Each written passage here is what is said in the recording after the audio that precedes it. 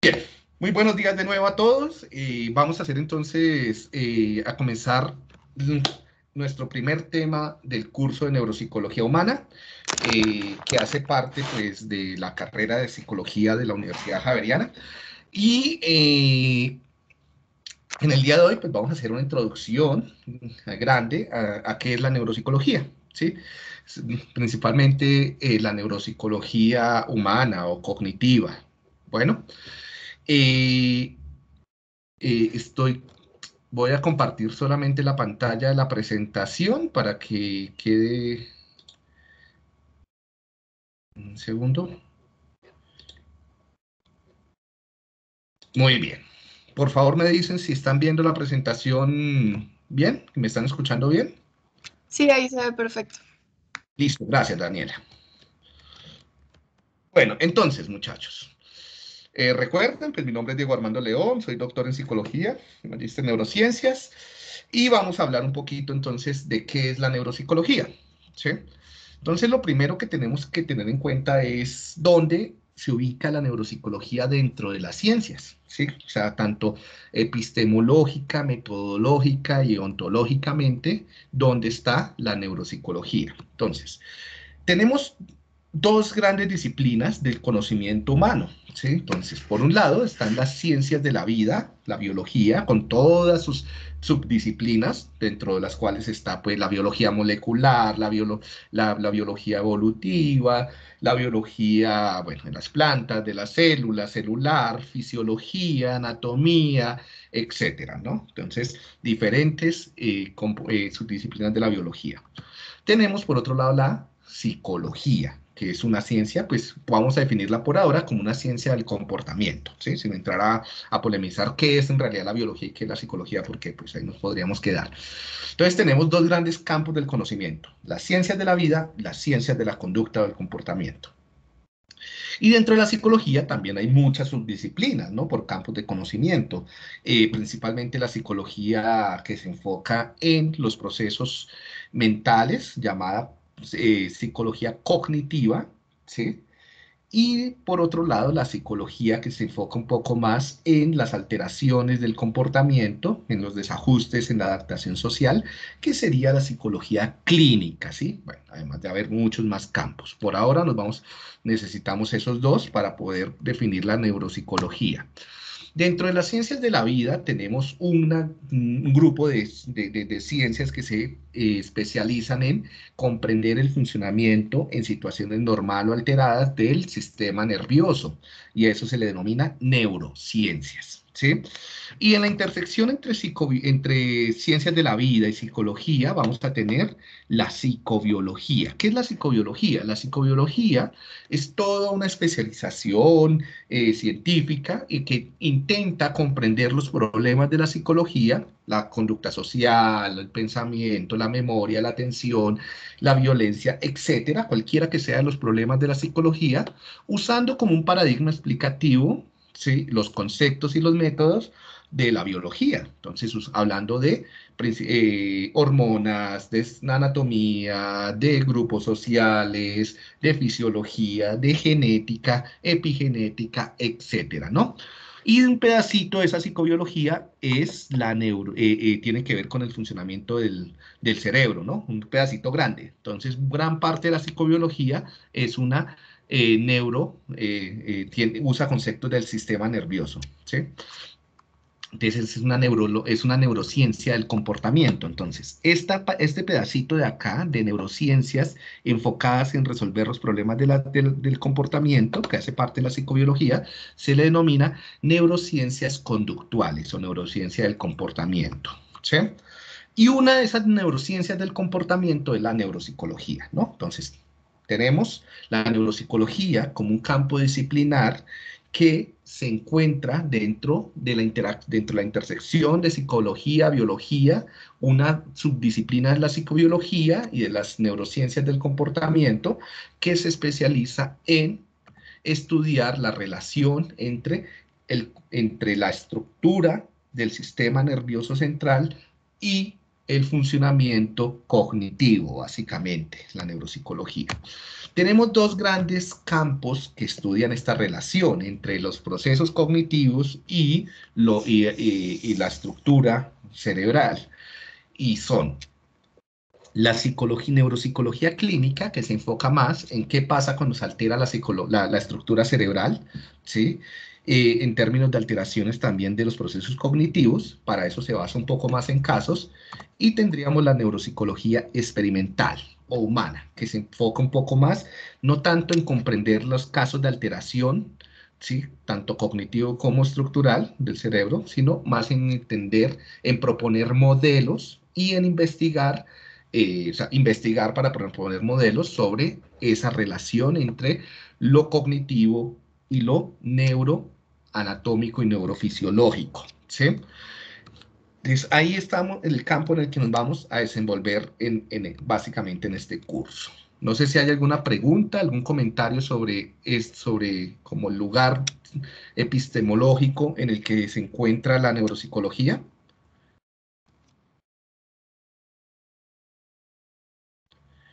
Muy bien.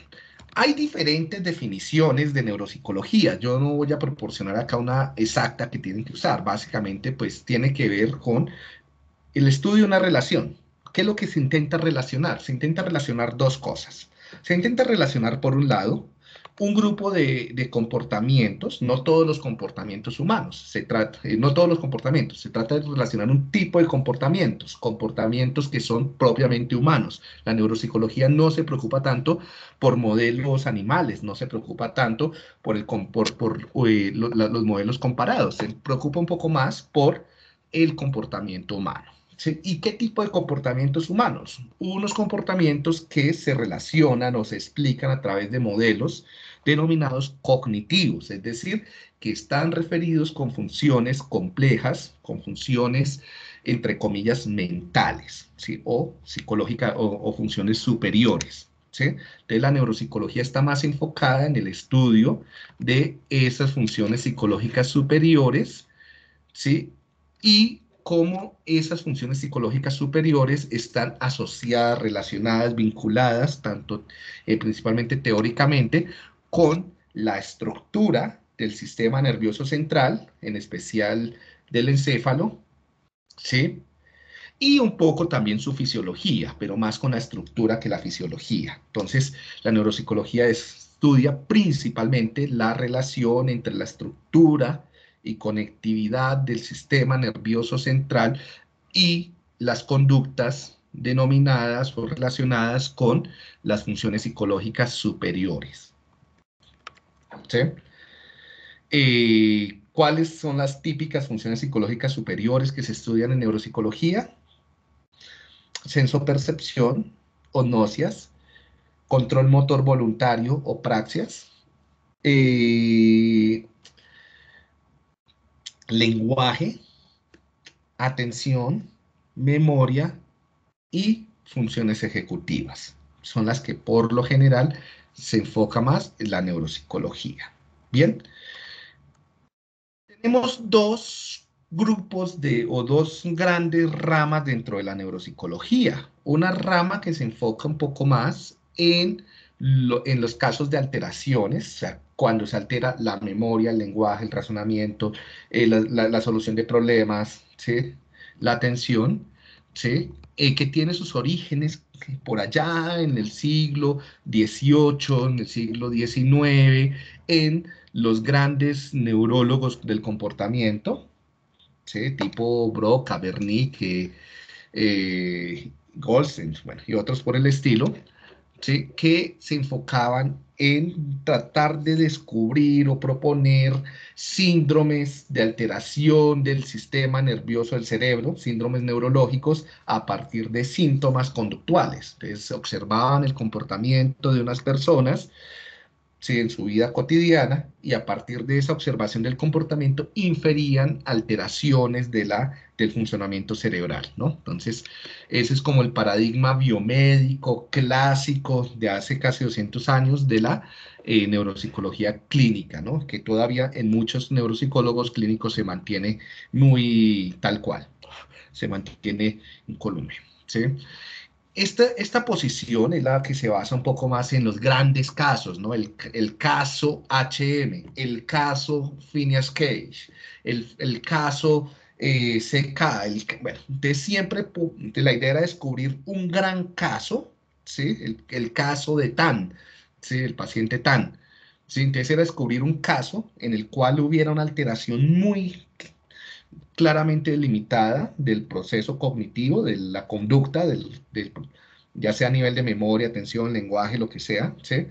y con un daño cerebral circunscrito, bien delimitado, ¿no? Entonces, de tal forma que tú pudieras asociar la eh, estructura del cerebro con la alteración, o sea, la alteración en la estructura del cerebro con la alteración en el comportamiento, ¿no?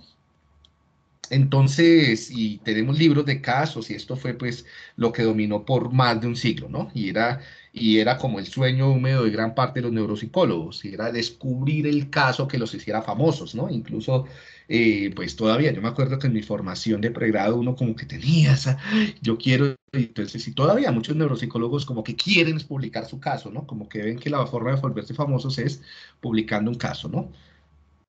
Y colocarle al, y descubrir un síndrome que no se descubren. Los síndromes neuropsicológicos no se descubren. La enfermedad de Alzheimer, la enfermedad de Parkinson, eso no se descubren. Eso no existen en el mundo como existen sillas, sí, como era descubrir un, un lugar, ¿no? Sino son simplemente formas de entender lo que hacen las personas. Entonces se proponen, ¿sí? Las, las, alteraciones mentales son hipótesis, nunca son realidades. Entonces, como la esquizofrenia, la, depresión, el, el déficit de atención hiperactividad, todo eso son hipotéticos, ¿sí? son constructos hipotéticos, son suposiciones interpretativas para entender el comportamiento humano, ¿no? Entonces, eso siempre hay que tenerlo en cuenta. Y en esa medida, eh, los síndromes y las enfermedades mentales no se descubren, se proponen, y pues una comunidad científica le da mayor o menor peso o validez a esa propuesta, ¿no? Sí, por ejemplo, el autismo. Entonces, el trastorno del espectro autista es una hipótesis que surgió hace como 150 años pero que en este momento no se sostiene, ¿sí? porque lo que define, lo que propone, sus conceptos, sus métodos de evaluación, de intervención, eh, los, los, correlatos biológicos, neurológicos, fisiológicos, no permiten determinar un tipo de alteración homogénea, sino no tiene validez, pierde cada vez más validez. Entonces la opción es, en el futuro, eliminar esa categoría diagnóstica y replantearla cambiarla por otras, ¿no? Como en, como en algún tiempo, además eso tiene un montón de cosas de deshabilidad social, ¿no? Recuerden que en algún momento la, homosexualidad, ¿sí? Era considerada una, una, una, enfermedad mental, ¿no? Eh, y así han habido varias. Entonces tengan en cuenta lo mismo acá, ¿no? Que todos los síndromes neuropsicológicos son suposiciones, son supuestos, son hipótesis que están soportadas por una teoría y por una serie de evidencias, ¿no? Entonces, la neuropsicología clínica o clásica trabaja en función de esto, de ese modelo, de casos clínicos, síndromes con eh, evidencias clínicas, o sea, de pacientes. Eh, básicamente se, se, utilizan métodos como los de disociación y doble disociación para proponer estas teorías. Entonces, una disociación es diferenciar áreas o circuitos cerebrales de acuerdo a funciones, que es una postura muy localizacionista, ¿sí?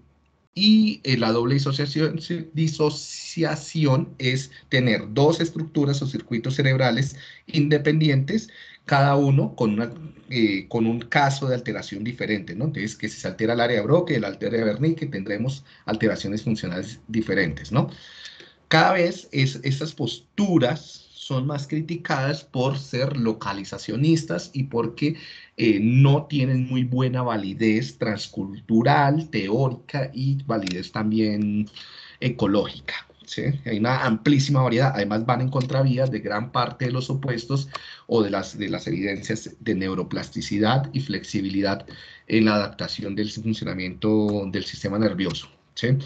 Estos métodos de la neuropsicología clínica o clásica suelen ser más individuales, enfocados en el paciente, la evaluación, y están dirigidos principalmente a la construcción de mecanismos de evaluación, principalmente a través de pruebas estandarizadas, a través de, procesos estadísticos poblacionales, una estadística para poblaciones, entonces eh, estandarización y normalización de pruebas para medir las, las, funciones cognitivas hipotéticas.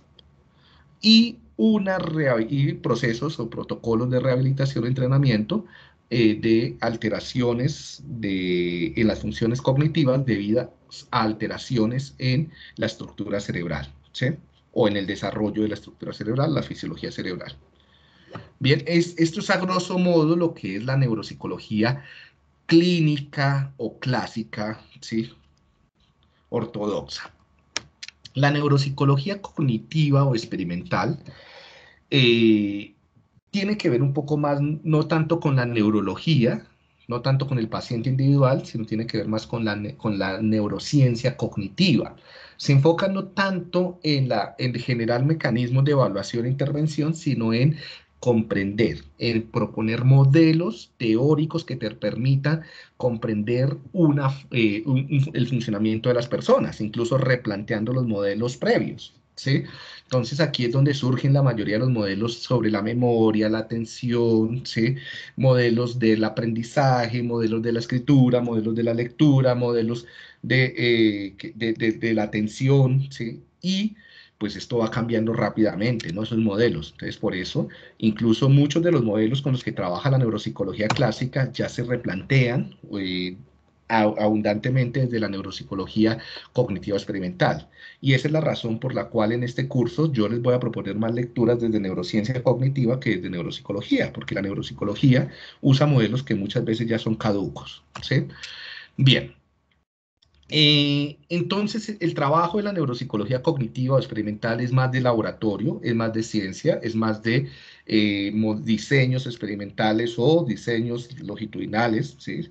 Para contrastar hipótesis eh, científicas. Bueno, uno debería pensar que todos los neuropsicólogos clínicos deben ser neuropsicólogos, deben tener fuertes bases en neuropsicología cognitiva, ¿sí? Pero no siempre, ¿sí? La, realidad es otra y la realidad es que esto no sucede así y es que la mayoría o, o gran parte de los neuropsicólogos clínicos no se actualizan en en neuropsicología clínica. Siguen pensando que la memoria es un almacén, siguen con los modelos clásicos del paciente HM, por allá con el modelo de Atkinson y Schifrin de memoria a corto y largo plazo, siguen hablando de funciones cognitivas, funciones ejecutivas en términos de Luria de hace 60, 70 años. Entonces, esto eh, es fundamental para cualquier tipo de neuropsicología y de cualquier tipo de psicología en, general, ¿no? Entonces aquí vamos a darle un poco más de fundamento neurobiológico a los procesos cognitivos. ¿Una pregunta hasta acá, muchachos? ¿Algún comentario?